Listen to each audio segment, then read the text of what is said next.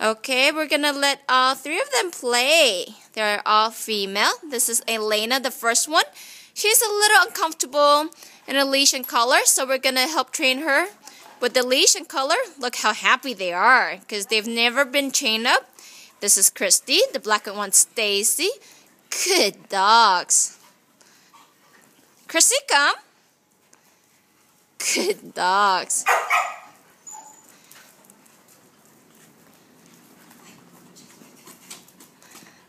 Good job, Stacy. Good job, Alana. And where are you, Chrissy? Hi, Chrissy. Good girl.